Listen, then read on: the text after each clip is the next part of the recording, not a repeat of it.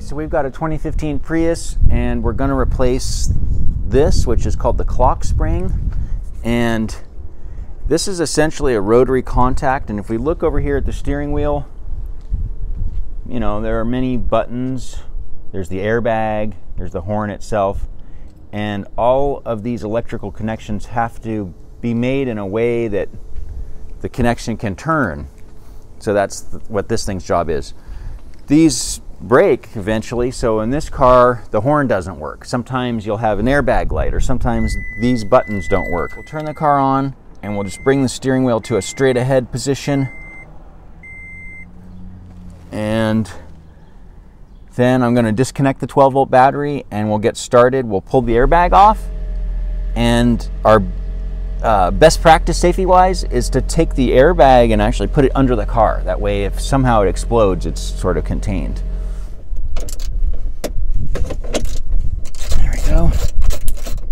And it'll sort of crackle and pop a little. There is, you know, an electrical connection here. So once this is pulled aside, we are powered off. We don't want to close this because we won't be able to open it again. All right, so let's move up to the front.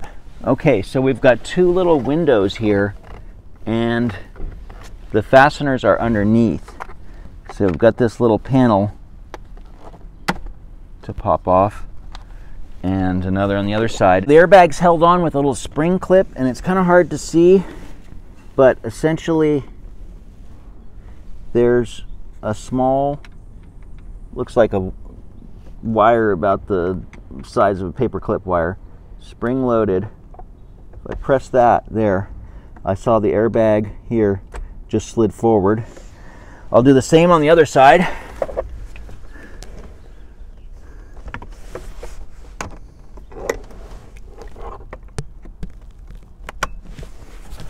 Okay, there we go. All right, so that's allowed us to pull the airbag back and we're gonna pry these two little yellow plastic caps upwards. So I'll just mark this so I know which one went where. And like every electrical connection, this is the time to be careful. I see people rush the, you know, plug and unplug step and that's when things really go wrong. Okay, so we got that, that one. Now this guy, people just yank on him. There's actually a little button on these too. There's the button.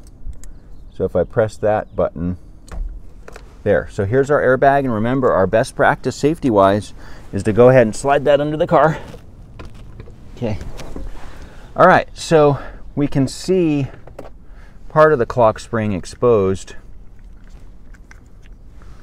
right there.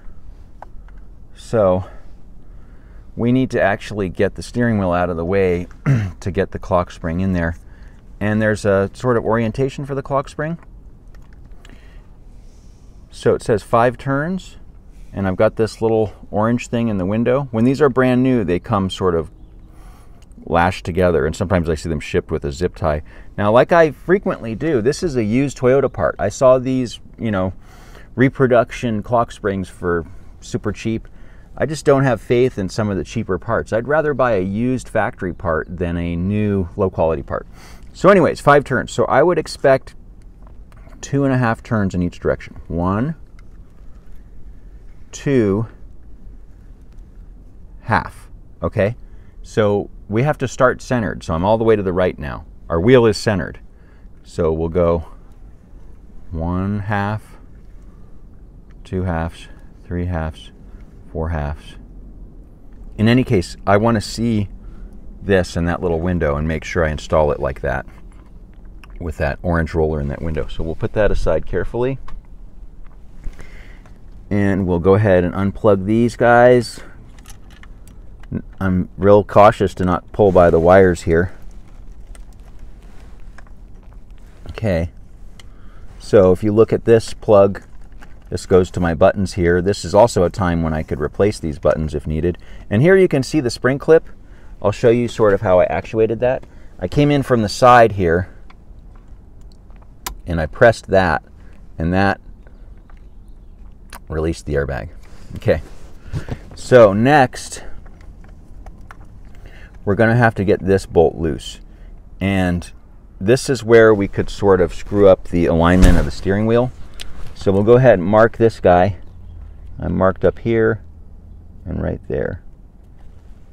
All right, so I'll get a socket, I'll hammer this off. And I might need to use a steering wheel puller or it might just wiggle off eventually. So we'll go ahead and hammer this guy off. Really don't want the steering wheel to turn and get lost. We have to stay centered. Okay. That came off pretty easy. Now, really gotta pry on this sucker. Ooh, yeah, there we go. you don't want that to come off while you're driving. Okay. All right. So, we're there.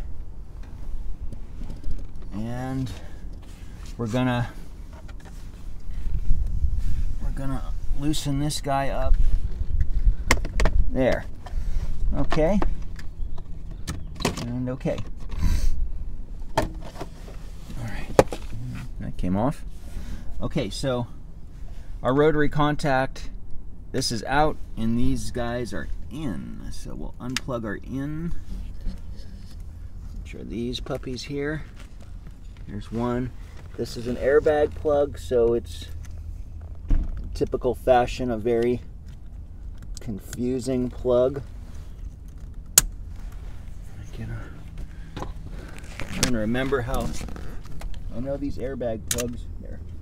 So that guy is spring loaded like that. Okay, so anything else plugged into our clock spring here? Let's look at the old one. So here's our two plugs in, and here's our three coming out. Oh, that one, okay. So we got this guy here. Okay, and in terms of what's holding it on, we got a catch here, catch here, and a catch here. So we'll carefully pry those free. One.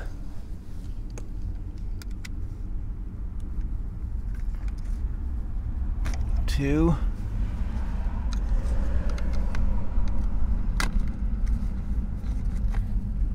Three, okay. All right, here's our old clock spring. There's our new one. We got the blue thing showing on both.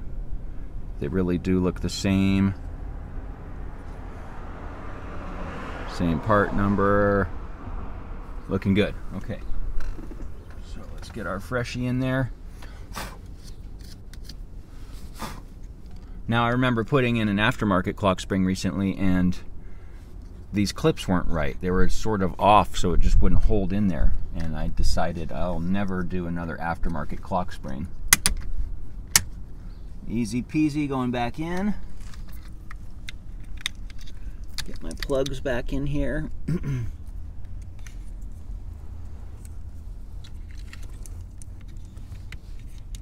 this one went here. Here. Okay. It's looking good. Let's get our bolster back on.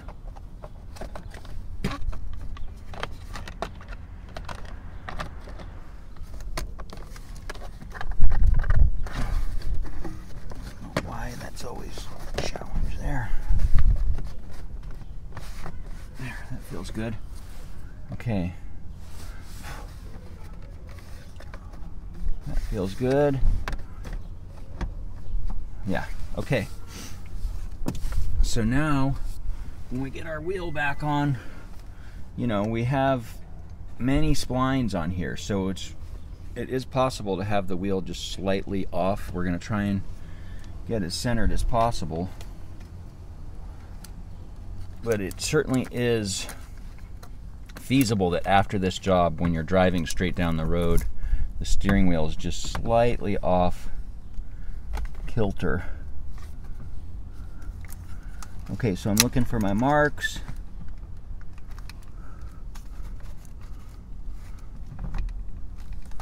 Now I think I'm one notch over here. If you look at the marks, go one over.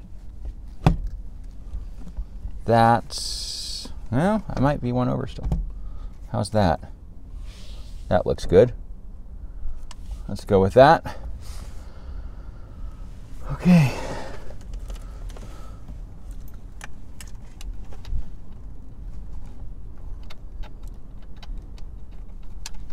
We will zap this down firmly. The last thing we want is for this thing to come off. It's 19 mil.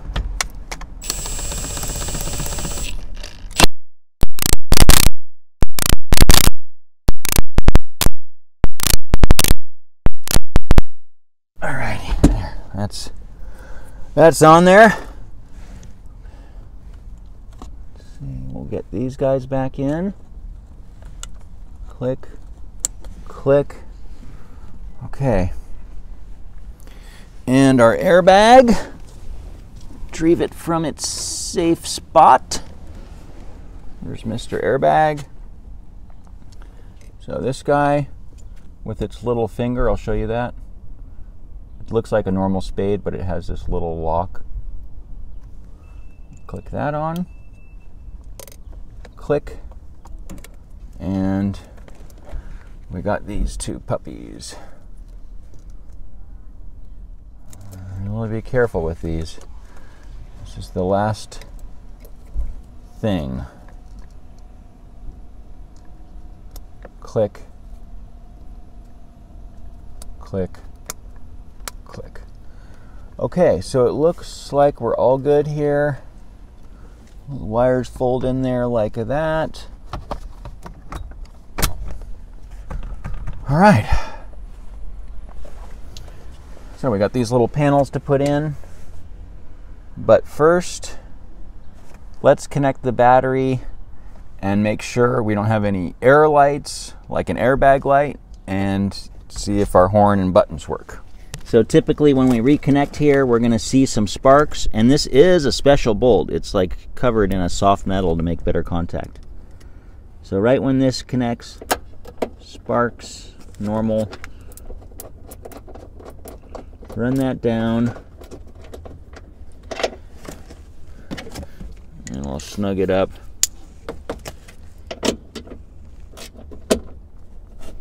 Okay. Okay. I've got the key here. The moment of truth, as they say. Okay, we're on.